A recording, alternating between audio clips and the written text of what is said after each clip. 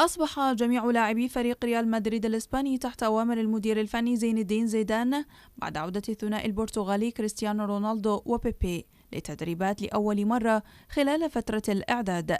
قبل أسبوع على انطلاق منافسات الليغا لموسم 2016-2017 ولا يستعجل زيدان على عودة رونالدو وبيبي للمشاركة في المباريات لعلمه بأن الموسم سيكون طويلا ويريد أن يتعافى كلاهما بشكل تام.